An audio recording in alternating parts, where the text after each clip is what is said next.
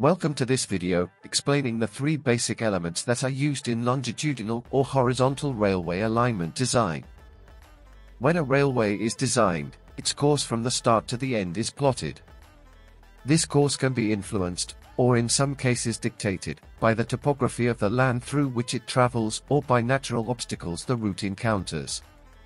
Track engineers need to be able to avoid these obstacles and features. This is where alignment design comes in. As you watch this video, please do drop any questions you might have in the comments, and I'll try my best to answer them. The longitudinal alignment refers to the horizontal layout, or geometry, of the railway. It is made up of three basic elements. First and most basic of the three we have straights, as the name suggests these sections of track are straight, normally with no cant applied. These sections of track are the fastest parts of the railway, similar to straight sections of road.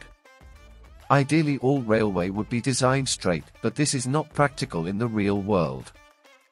Next up is circular curves. These curves have a constant radius along the length of their arc.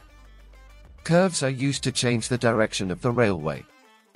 They can vary from tight radius, short curves in built-up suburban areas, to long, larger radius curves on high-speed lines. Lastly we have transition curves, transitions are in reality a spiral. They have a constantly changing radius.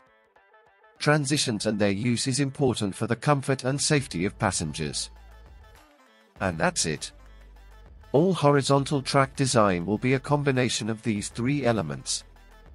Check out the description or head over to the channel for more videos on track design, including types of curves and more about transitions. Thank you for watching.